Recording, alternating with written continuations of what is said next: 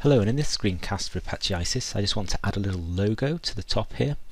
So the way in which we do this is uh, pretty straightforward. I'm going to go to my application and I've already got the uh, icon I want to use which is here under source main resources in an images package. Uh, here's the here's the icon we're going to use and um, all I need to do is go to my domain application in the web app module and uh, add in the magic bit of code to save a bit of time I've just got it I can just paste it here. And so what we're doing is we're just setting up this uh, attribute uh, pointing to the value there. So if I start my application up once more. Okay and the app is now running. And then if we reload the page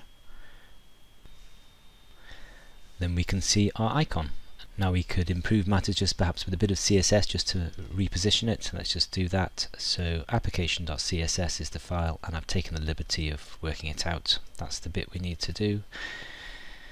Copy the file over there, Control R to reload and that's looking quite nice. There you are.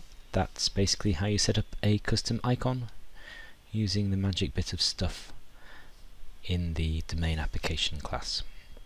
Give it a go.